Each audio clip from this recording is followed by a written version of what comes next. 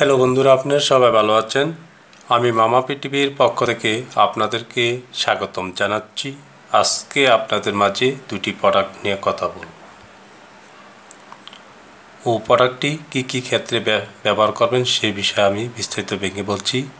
বিশেষ করে যারা দীর্ঘদিন যাবৎ ও বুকে ঠান্ডা ও জনিত সমস্যা ও শ্বাসকষ্ট হাঁপানি এই ধরনের ঠান্ডাজনিত সমস্যা দ্বারা ভুগছেন তারা অনেক ওষুধ খেয়েছেন অথবা কোনো রেজাল্ট পান নাই আপনারা অবশ্যই এই দুটি ওষুধ খেয়ে দেখতে পারেন। যে কোনো ডাক্তার পরামর্শ নিয়ে ওষুধটি খেলে আশা করি আপনাদের বুকে ঠান্ডা ও শ্বাসকষ্ট কপ তরল করে বের করে দেবে। বন্ধুরা, একটানা সাত দিন খাবেন নিয়মত। এই ওষুধটি আজকে আপনাদের মাঝে নিয়ে হাজির হলাম। ওষুধটির নাম আমি বলছি, ওষুধটি কোন কোম্পানি তৈরি করছে, সে সম্পর্কেও বিস্তারিত ভেঙে বলছি। বন্ধুরা, দেখা যাক। এই সিরাপটার নাম হল মিরাকপ। মিরাকপ সিরাপটি তৈরি করছেন স্কোয়ার ফার্মাসিউটিক্যাল লিমিটেড। সিরাপটির দাম মাত্র আশি টাকা। সিরাপটি কেমন দেখতে দেখাচ্ছি। এই যে দেখুন সিরাপ। এই কাপটা দিয়ে দুই চামচ করে দিনে তিনবার খাবেন একটানা সাত দিন। আপনার বুকে যত ধরনের কপ আছে সব বের হয়ে যাবে। শক্ত কপ ও তরল কপ ও পাতলা কপ, সব কপ বের হবে।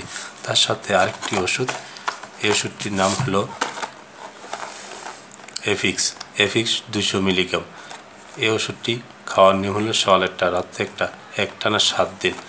কোম্পানি তৈরি করেছেন এইচ টু ফার্মা লিমিটেড দেখুন, এই ক্যাপসুলটি এই ক্যাপসুলটি সকাল একটা রাতে একটা, একটানা সাত দিন খান। যে কোনো ডাক্তারের পরামর্শ নিয়ে খেলে আশা করি আপনার যে বুকে কফ বসে আছে ও শ্বাসকষ্ট ঠান্ডাজনিত সমস্যা বুকে যত ধরনের ইনফেকশন ঠান্ডা ঠান্ডাজনিত আছে, তারা এই থেকে মুক্তি পাবেন বন্ধুরা। এর দুটি ওষুধ আপনারা নিয়মিত খান, আশা করি আপনাদের সমস্যার সমাধান হবে।